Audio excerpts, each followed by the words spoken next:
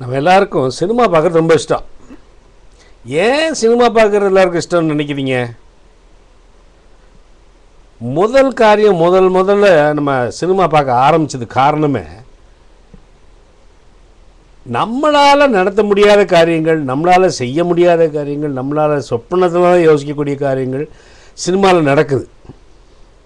அடிக்கிறான் குதிக்கிறான் குத்துறான் அவங்க காதலிக்கிறான் கல்யாணம் பண்ணிடுறாங்க. இங்கே காதலிக்கிறாங்க ரொம்ப கஷ்டப்படுறாங்க. அது உ- ஒரு நாலு பேர் வந்து சேர்ந்து ஒரு ரெண்டு ஃபேமிலி சேர்ந்து இப்படி ஒரு மசாலா போட்டு வரும்போது நமக்கு நம்மளே அந்த ஹீரோ ஆயிடுறோமோ அந்த ஹீரோயின் ஆயிடுறோமோ அப்படின்னு ஒரு நினப்பு. தெரியாமல் நடக்குது நமக்கு. இது ஒத்துக்க மாட்டேங்க நீங்கள் சொன்னால் ஆனால் அப்படி தான் எல்லாம் யோசிக்கிறாங்க. படத்துக்குள்ளே போய் ஒரு சினிமா பார்க்க ஆரம்பிச்சிட்டோம் ஒரு இது பார்க்குறோம்னா நம்ம அந்த கேரக்டர்ஸோட ஏதாவது ஒரு கேரக்டர் நம்ம ஒத்துக்குவோம். யூஸ்வலாக ஹீரோ ஹீரோயின் தான் கேட்பாங்க எல்லாரும். வில்லுனா வில்லியே வரணுன்ற ஆசைப்பட மாட்டாங்க.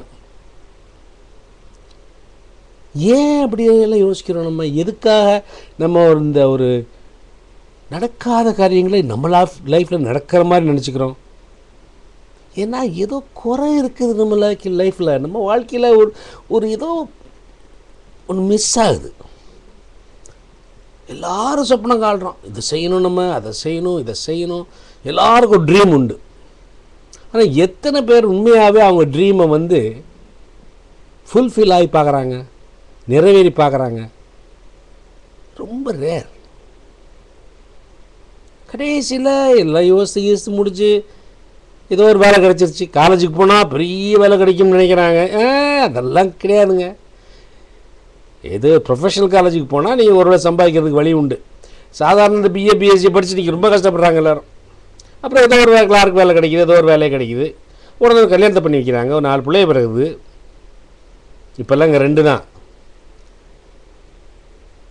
அப்புறம் ஒரு வீடை கட்டணும்னு ஆசைப்பட்றோம் அது அதுக்கு ஃபுல்லாக லோனை வாங்குகிறோம் நம்ம லைஃப் பூரா இந்த மாதிரி வீடை கட்டுறதோ கார் வாங்குறதோ டிவியை வாங்குறதோ வீட்டுக்கு வேண்டிய சாமான்கள் வாங்குறதோ கடனில் போய் கிரெடிட் கடை வாங்கி இதை பண்ணி அதை பண்ணி கடைசியில் கடன்லேயே கதை ஓடிக்கிட்டே இருக்குது சொப்பனோடு நிறைவேறலையா இருக்கும். கடைசியில் இதுதான் ரியாலிட்டி ஆகி போயிடுது கடைசியில் என்ன நடக்குதுன்னா செத்து போயிடும் ரைட்டா?